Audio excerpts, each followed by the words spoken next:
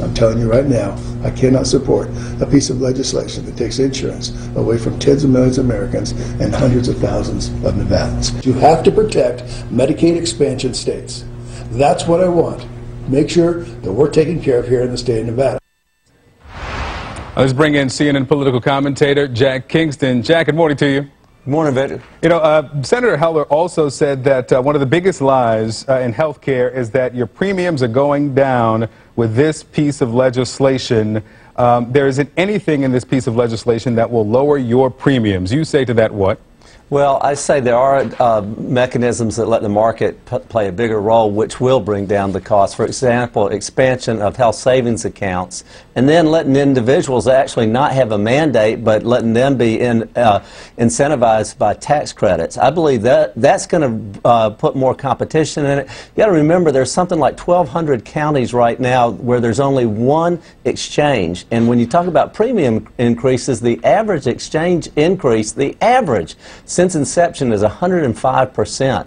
Uh, right now, the state of Maine is looking at a 40% uh, increase. Delaware looking at 33%. Michigan at uh, 31%. So premiums are going up. Where we are right now is not sustainable. And I understand Senator Heller's um, issue with Medicaid expansion states. They're in a different position than states that did not. But yeah. um, I think giving states more flexibility, block granting Medicaid and letting them have the ability to run it themselves is going to bring down the, the cost of Medicaid yeah. because the administration will be less. Well, Jack, let me jump in here because uh, we're still days out from the uh, Congressional Budget Office's uh, their estimate, their score of this bill, how much it will cost, how many people potentially could lose coverage because of the legislation.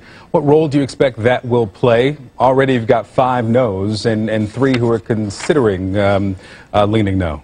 Well, you know, I, I think it, it is still very fluid, but um, I've personally spoken to Rand Paul and to Ted Cruz about where we are as a party, what our promises are on repeal and replace. And both of them have said, we want a bill, we just don't want this bill in its current form. And when members are saying that, what they're saying is you got to move a little bit closer to my philosophy or my state's needs or whatever. So um, I think Dean Heller was very adamant and probably, I don't know if we can get his vote, but I think the others are still in play. And, and um, you know, people like Rob Portman, he wants more money for opioids, and I think we can get there on yeah, well, the, uh, the problem is if you move too far to get to Heller's vote, you lose uh, Ted Cruz. If you move to Ted Cruz, you may lose lose Heller. Let me get to another element here. Let's put up the tweet, guys. This is from uh, a pro-Trump uh, super PAC. This is America First policies targeting Senator Heller. Hold Senator Dean Heller accountable for turning his back on voters after promise to repeal and replace Obamacare. Hashtag Heller vote yes.